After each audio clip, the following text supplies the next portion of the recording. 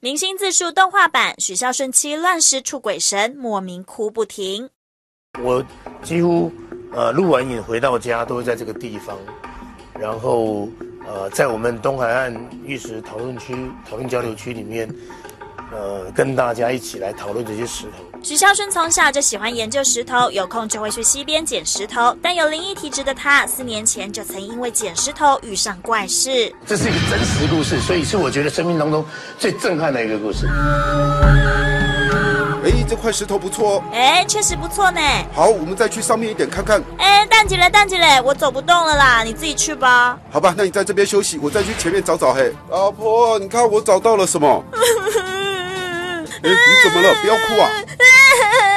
哎呦，到底发生什么事了？当天回到家后，许孝顺就做梦，梦到哦，好无聊哦，臭顺子还不赶快给我回来！哦，烫死我了啦！好石头啊！老婆，老婆，你醒醒啊！怎么了？你是不是在溪边一直丢石头？